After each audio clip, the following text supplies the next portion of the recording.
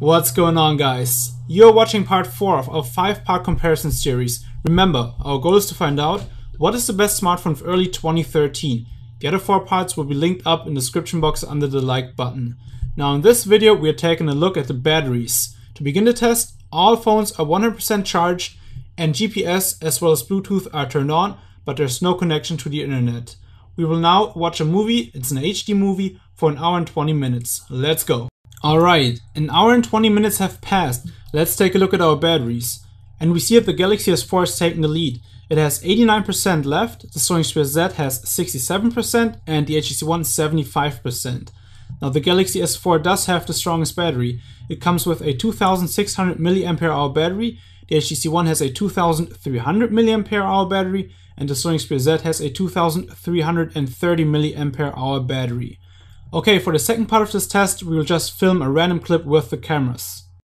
After 30 minutes of filming from right to left, here are the results. 80%, 42%, and the HTC One has 53%. Next up, playing Fruit Ninja for 20 minutes. Okay, first of all, playing Fruit Ninja on more than one phone at the same time is just no fun. But here are the results. From right to left again, 76% for the Galaxy S4, 33% Xperia Z, and 43% HTC One. Now the next part, we're just listening to the same song on repeat on all three devices. Alrighty. By the way, listening to the same song for 40 minutes on three devices at the same time ain't no fun either. But hey, somebody gotta do the dirty work, right?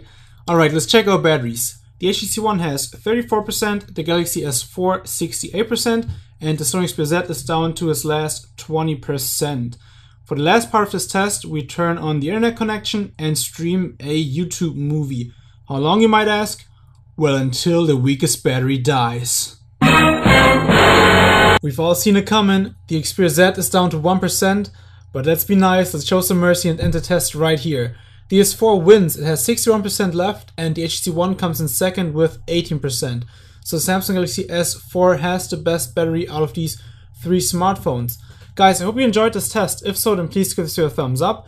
Check out the other four parts of our series, subscribe for more cool content, and I see you in the next video. Bye.